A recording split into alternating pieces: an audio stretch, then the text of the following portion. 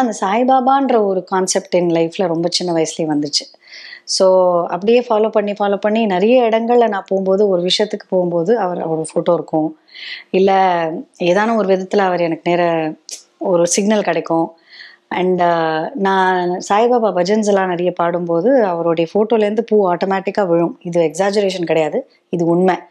ரீசெண்டாக கூட எனக்கு இது நடந்த ஒரு ரஜினி சீரியல் நான் பண்ணுறேன் அதில் வந்து ஃபஸ்ட்டு சீன் ஃபஸ்ட்டு ஷார்ட் நான் வந்து சாய்பாபா வணங்குற மாதிரி தான் அதில் வந்து பூ விழுந்தது. ஆட்டோமேட்டிக்காக விழுந்தது. ஸோ டெஃபினெட்லி அவரோட connection with me is very very strong and என்னுடைய சன் பிறந்ததுக்கு கூட நிறைய வேண்டுதல் நான் பண்ணியிருக்கேன். ஷிரடி சாய்பாபா வேண்டிண்டேன் அவர்கிட்ட வேண்டிக்கிட்டு நான் ஸ்ரீ சாய் சச்சரிதா படிச்சிருக்கேன். அதை படிக்க படிக்க எனக்கு Aarush my son was born so definitely he is very very important Saibaba இல்லாமல் நான் எக்ஸிஸ்டே பண்ண முடியாது லைஃப்பில்